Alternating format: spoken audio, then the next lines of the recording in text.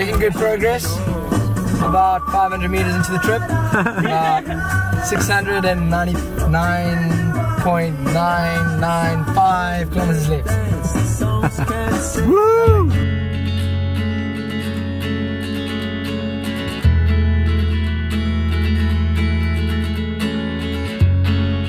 So TEDx on the Road is uh, an initiative where these ideas that are worth spreading, we want to take them to people who are outside of the cities, outside of the urban areas, who may not be exposed or have the opportunity to be exposed to TED, the platform that we love, learned a lot from it, gained a lot from it, and we think that some people need to have that opportunity too.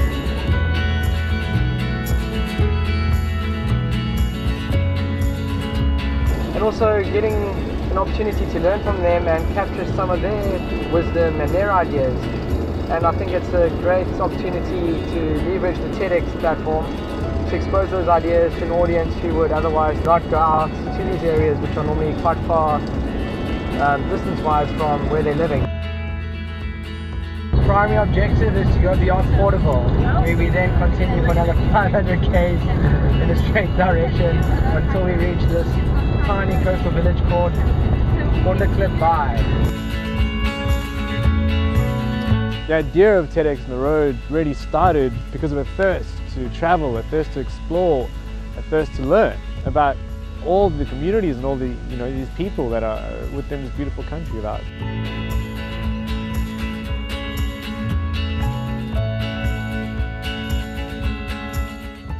Hondeklipbaai.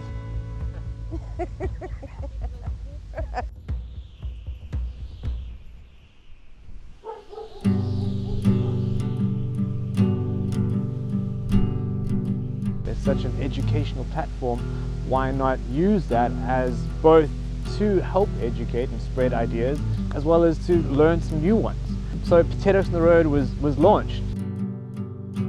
Open Africa were a natural partner organization for it because that's what they do. They've been doing it for years. They've formed these beautiful relationships with communities through these sort of off the beaten track areas. In the Northern Cape here we've got five routes of which I'm at the moment working with four of them and now we're starting to look at creating better linkages between these four routes so they can start marketing between each other. Routes particularly is important for the Northern Cape as it is so vast and often when I am marketing the destination the tour operators standard answer was it's too big, they don't really know where to go and tourists do not have a lot of time. So Route is the perfect tool and instrument to show people the adventure of seeing the unexplored, the unfamiliar. We held a big workshop here in Hondeklip Bay along the coast, which forms part of one of the routes, the Namakwa Coastal Route. And we had representatives from all of the routes come down, as well as all of the local district municipalities and various other stakeholders. And so we piloted the TEDx on the road where we've been screening some of the videos in the evenings after the workshops and the idea will be then to help the routes to work with TEDx Cape Town and create TEDx on the road in more along these routes. We want to come along Open Africa Routes and show some of the cool ideas that are on the TED platform. There's some incredible ideas all over the country and in the Northern Cape also, of course. Die filmse wat julle wys is nogal vir my baie goed want ons jong mense kort hy inspirering, hy inspirasie om goeders te kan doen. Dit was baie interessant waar hulle gepraat het oor leierskap. Uh, en om gestaan die eerste klip te sien en die tweede klip en die laaste klip. Daar's ook ander mense in die wêreld wat wat dieselfde probleme ervaar. You know, one of the goals they spoke about is doubling the number of tourists that come to the Northern. And you know at the moment there's around about 2% coming. So if we can double that, it will make a huge impact for, for the businesses here. You must remember that we are in a province that's least visited of all the provinces. You, you have to start focusing your energy to, to get everybody like ducks in a row. Lekker was eendag net lekker gewees. Ry daar in die straat.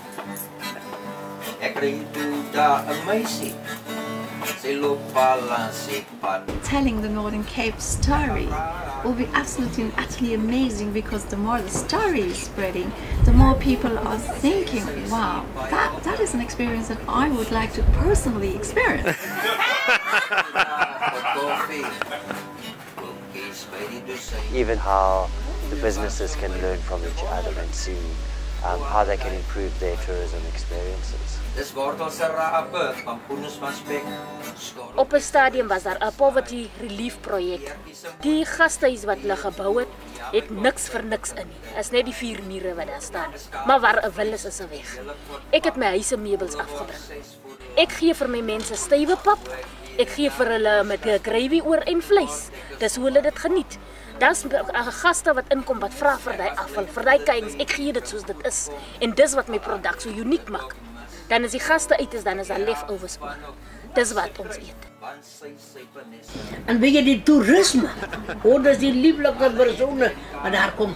Weet jy, maar ek sê hulle is my familie. As hulle gekom het, dan kom druk hulle aan my. Hulle is my verlang.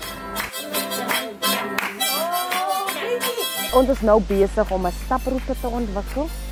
Ons is besig om 'n 4x4 roete te ontwikkel en ons is ook besig om 'n fietsryroete te ontwikkel wat nie in die verlede daar was nie.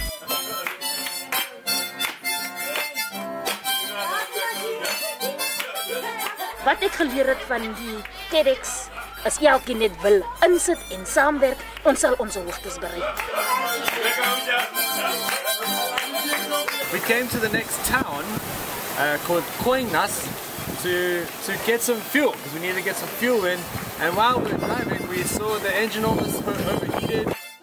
the people that we encountered with our broken down vehicle and tried to fix the situation, they were they were the friendliest people. This guy, 19 year old mechanic, uh, invited us into his house, and his mom made us coffee and homemade rusks uh, while we were trying to sort out this crisis. So I think that was my favorite part because we really got to experience some of the community that live here. One of the people during one of the workshops said, uh, and I quote, said, uh, everybody should watch these videos. It does something with your mind. And I think we've all experienced that, uh, and that's why we're sort of launching this project.